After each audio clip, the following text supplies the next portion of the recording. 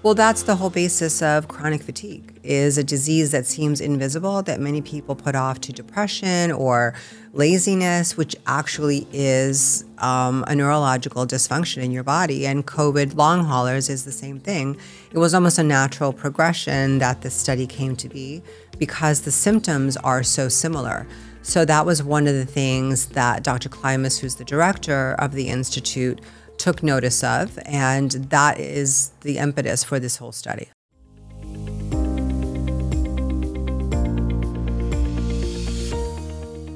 And so today I have a very special guest. I have the executive director of the Institute here today, Nathalie Sloane. Thanks, Haylie. Thanks for having me. Absolutely. We have had so much excitement about everything that we have going on over at the Institute. And I thought no better person to bring to the table today and talk about what is the Institute for Neuroimmune Medicine. So, the Institute for Neuroimmune Medicine is part of the Kiran C. Patel College of Osteopathic Medicine at Nova Southeastern University. Nova Southeastern University is the only university in the country to have an osteopathic and allopathic, which is a traditional MD. Um, and the Institute for Neuroimmune Medicine is special because it is within the university, but really has an independent clinic and research, uh, unlike the rest of the university, the rest of the research that's going on at the university. The clinic, the institute, was started about 10 years ago by Dr. Nancy Klimas and Dr. Mary Ann Fletcher, who unfortunately recently passed. They were on the forefront of the AIDS epidemic and many other um, breakthrough research studies. And uh, we're one of the only women that were involved in the AIDS research. And Dr. Fletcher, as a matter of fact, was implemented the Title IX um, legislation that allowed women to be active in sports and really has had an instrumental role of bringing women to the forefront um, in science, which is still to this day a place where women are not really in the majority. So the Institute has several different arms. Part of the Institute does translational research, which means that the computational biologists that are part of that team take an idea from basically the computer to a model that is a 3D model to animal models to human models, which means that if we have a disease, which from when we're looking for a cure or a treatment, the Institute can start the research from the very beginning and implement it to actual real life in the span of a few years, all within the walls of the Institute. And so part of that is because we also have a clinic, correct? Correct. So we have we have research, we have translational research, mm-hmm. which is unique. Was a new thing for me to kind of learn and explore. We have computational biology, which is modeling of what has happened in all of the catalog of research from today backwards, mm-hmm. right? And then projecting or looking at ideas of what can be at the forefront of medicine. Correct. That's amazing. Mm-hmm. It's exciting. So in the in the institute, what do we see? Let's go to clinical first. What do we see? Um, patients. I know that we have patients that travel from all over the world to come see us. What are those patients struggling with? What are we seeing in the institute? The patients are struggling with lifelong chronic fatigue um, chronic illness, excuse me, and for the most part have either been misdiagnosed or have not been able to be diagnosed by traditional doctors. They're kind of at the end of their rope. Many of them have uh, chronic fatigue. Some of them have um, inflammation or other neurological uh, diseases such as lupus or sometimes ALS or Parkinson's or the beginnings of other neurodegenerative diseases the clinicians in the clinic are experts in functional medicine, integrative medicine, toxic exposures, and are able to, within um, a three or four hour first appointment, pinpoint for the most part what that person might have, order the correct labs, and start them on a journey to hopefully feeling a little bit better. That's great. And we we also have a, a, very unique lab setting at the institute. Can you tell us a little bit about that? So the lab is a CLIA lab, which is a um, designation that's given to a lab for the NI from the NIH that allows us to do a huge variety of testing.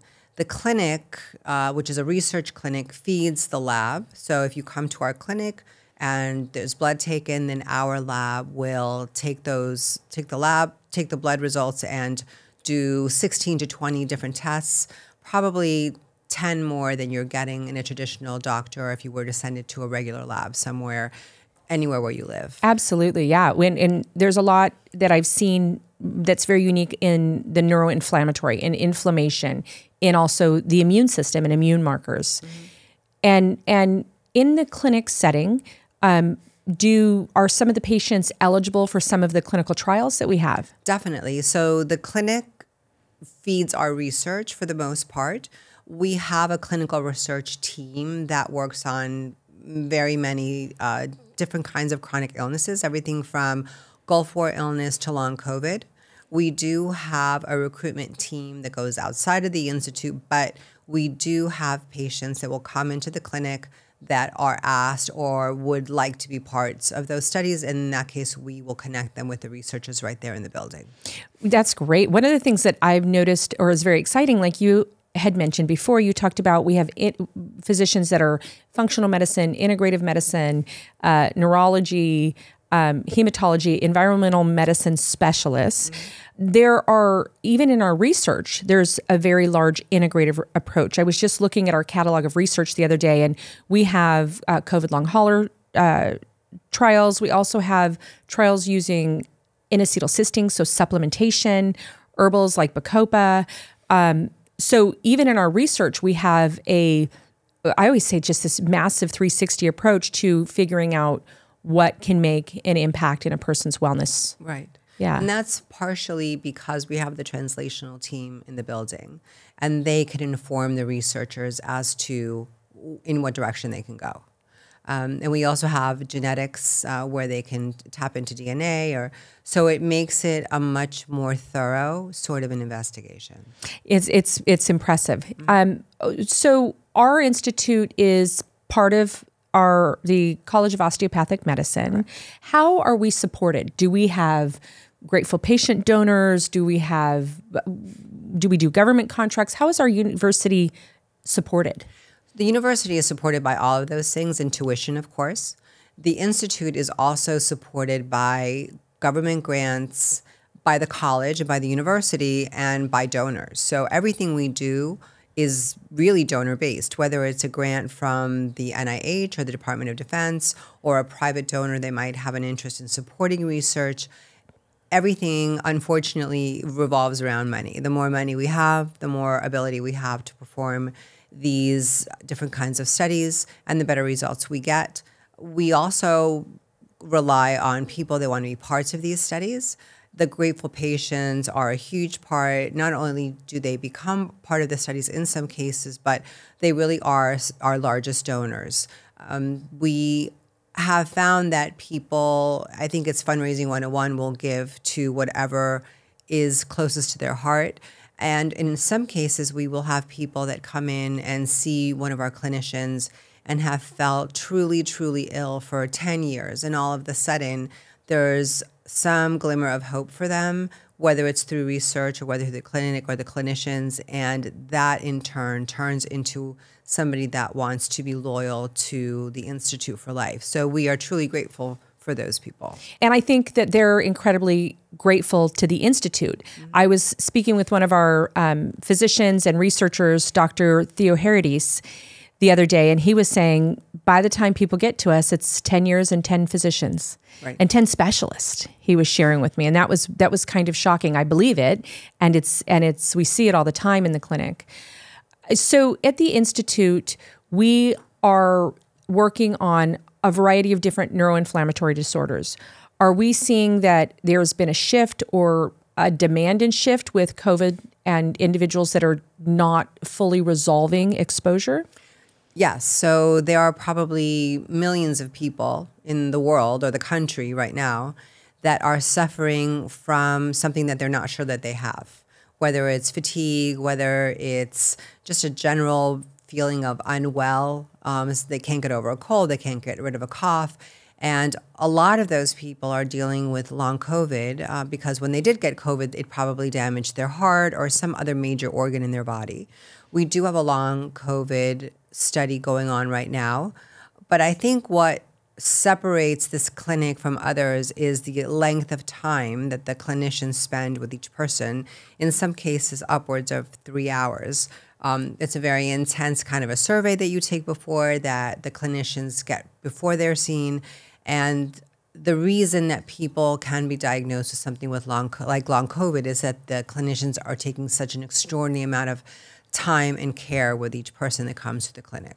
And I think also because we have in house this unique lab mm-hmm.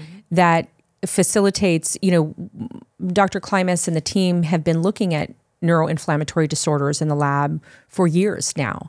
And so even though this is a new issue or a new problem that we're being faced with, we've already been set up and primed for over a decade to look at what's happening in the body when the body can't re regulate or can't come back into a homeostasis. Correct. Yeah. So it's not something that I think we wanted to be prepared for, but I think it's why we've been able to be so nimble and pivot so quickly. Well, that's the whole basis of chronic fatigue is a disease that seems invisible that many people put off to depression or laziness, which actually is um, a neurological dysfunction in your body. And COVID long haulers is the same thing. It was almost a natural progression that this study came to be because the symptoms are so similar. So that was one of the things that Dr. Klimas, who's the director of the institute, took notice of, and that is the impetus for this whole study. That's great. It's that's exciting, and also we are also seeing. Um, you had mentioned before about our computational biology department, and a lot of the research there with neuroinflammatory disorders is this whole concept of viral reactivation and and and we were you know full swing into looking at viral reactivation with chronic fatigue, with neuroinflammatory response. And then along came COVID. Mm-hmm.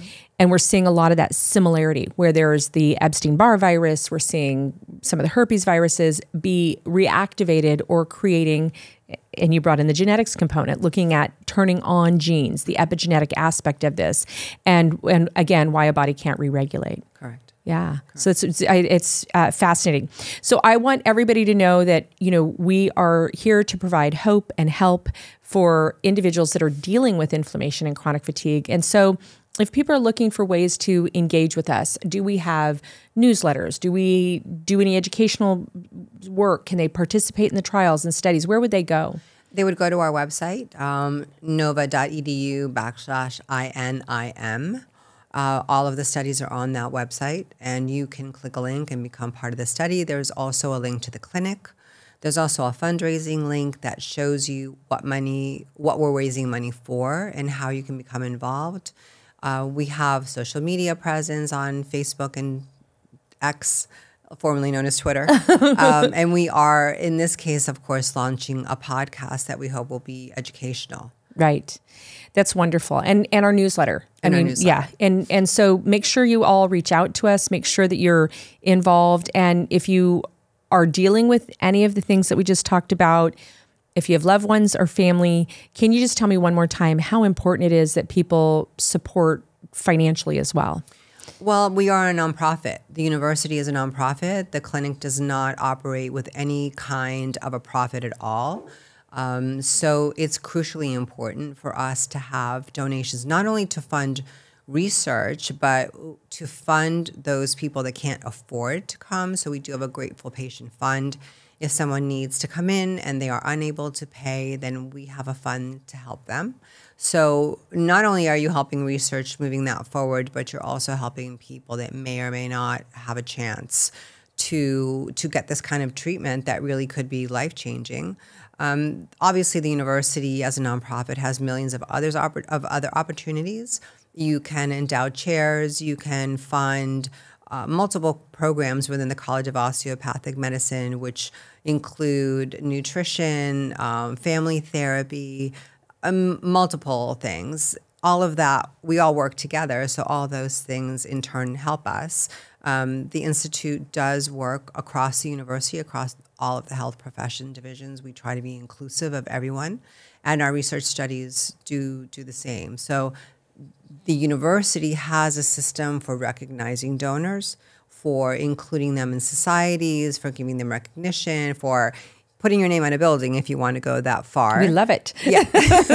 so everything in a nonprofit always revolves around around giving. Wonderful. And I just want to reiterate one more time what has been amazing for me to see is the ability for people to come into the clinic and receive exceptional care. I mean, in depth, exceptional care that encompasses, you know, really all aspects of medicine. There hasn't been a stone unturned, in my opinion. Yeah, when people are working in our clinic.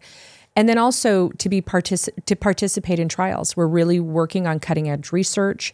Um, and you know, it's sometimes so hard to connect to, to those kinds of things, and and we try to make that accessible and easy. So I just want to thank you so much for coming today. Thank um, you. We have an incredible institute.